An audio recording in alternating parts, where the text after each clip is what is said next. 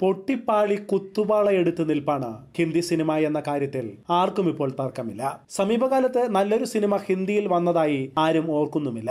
എന്നാൽ Mohanlal Jeethu Joseph team world wide ഹിറ്റാക്കിയ Drishyam two ഹിന്ദിയിൽ remake ചെയ്തതോടെ നഷ്ടപ്പെട്ട പ്രതാപം ബോളിവുഡ് തിരിച്ചു പിടിച്ചു അൻപത് കോടി മുതൽ മുടക്കിയ സിനിമ ഒരാഴ്ച കൊണ്ട് നൂറ് കോടി ക്ലബ്ബ് കയറി. ദൃശ്യത്തിന്റെ ചുമലേറി ബോളിവുഡ് ജീവിതം തിരിച്ചു പിടിക്കുന്ന കാഴ്ച മടികൂടാതെ സമ്മതിക്കുകയാണ്. ഹിന്ദി പ്രേക്ഷകരും ബോളിവുഡ് രക്ഷപ്പെടാൻ ദൃശ്യം പോലുള്ള സിനിമകൾ ഇനിയും ഉണ്ടാകണമെന്ന് ദൃശ്യം ടു ഹിന്ദി നായകൻ അജയ് ദേവഗൺ തുറന്നു പറയുകയും ചെയ്തു.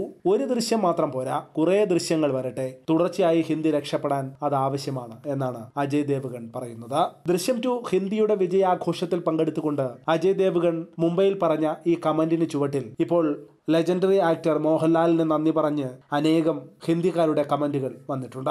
ഹിന്ദി അല്ലാതൊന്നും എനിക്കറിയില്ല. ഹിന്ദി സിനിമയല്ലാതൊന്നും കണ്ടിട്ടുമില്ല. എങ്കിലും ദൃശ്യത്തിന്റെ ഒറിജിനൽ നായകൻ മോഹൻലാലിന് എന്റെ നമോവാകം എന്നാണ് യു പിയിൽ നിന്നുള്ള ഒരു പ്രേക്ഷകന്റെ കമന്റ് ദൃശ്യം ടു പോലൊരു ഹെവി ത്രില്ലർ ഞങ്ങൾക്ക് തന്ന ജീത്തു ജോസഫിനും അദ്ദേഹത്തിന്റെ നായകൻ മോഹൻലാലിനും അഭിനന്ദനങ്ങൾ. ജീത്തു ജോസഫ് നിങ്ങൾ ഭാഗ്യവാനാണ്. നിങ്ങൾക്ക് മോഹൻലാൽ എന്നൊരു നടൻ നായകനായി ഉണ്ട് അദ്ദേഹത്തിന് ഒന്നും അസാധ്യമല്ല.